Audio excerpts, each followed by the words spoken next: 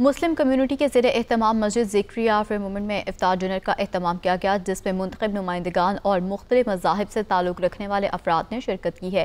عظمت گل کی رپورٹ دیکھیے۔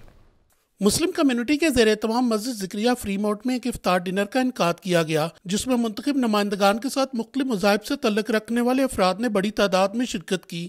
تقریب کے منتظمین میں سلیمستان عارف احمد محمد یاسین سید خرم اور دیگر شامل تھے نظامت کے فرائض ڈاکٹر عمران لطیف نے انجام دیے مسلم کمیونٹی رہنما سلیم استان نے اس موقع پر مہمانوں کا شکریہ ادا کیا اور کہا کہ Today, as we come together from diverse background and beliefs, we unite in a common purpose to embrace the power of fasting as means of spiritual renewal, reflection and solidarity.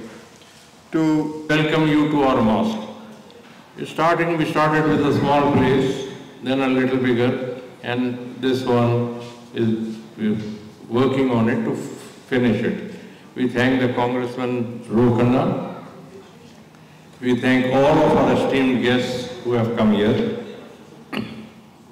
The reason we want everybody to come here is to understand that we living so many years and making Fremont the happiest city on the world.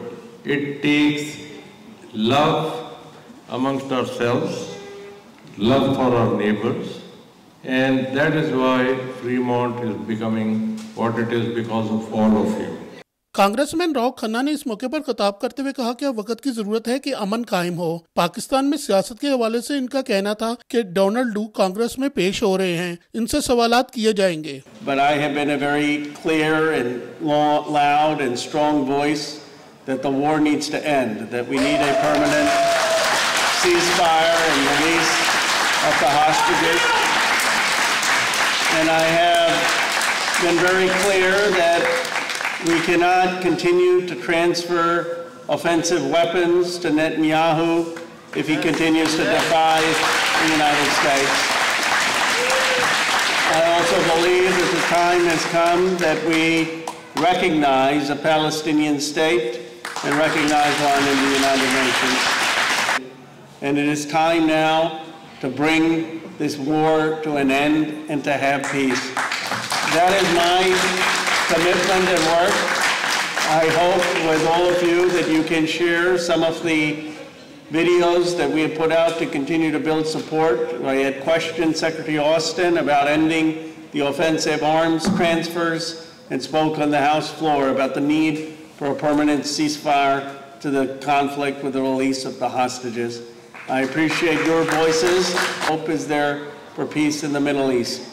So I would like, Salim, to host an event with both of these communities coming together here in the 17th District to find a way forward once this war comes to an end.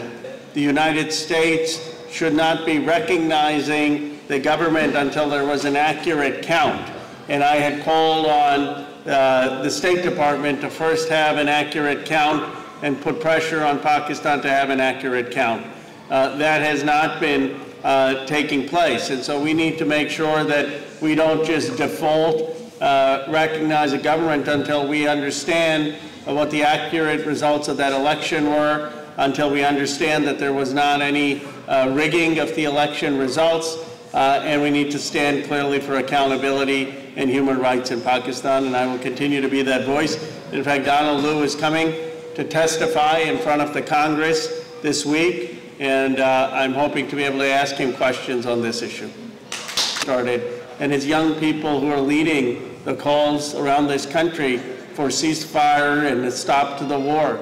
So don't underestimate your power. Be vocal, be active, and uh, the, the politicians have no choice but to listen to an activated young generation. The diversity and unity in our community. By coming together to appreciate our differences and commonalities, we build stronger bonds, create a more vibrant society, and pave the way for a future for us all.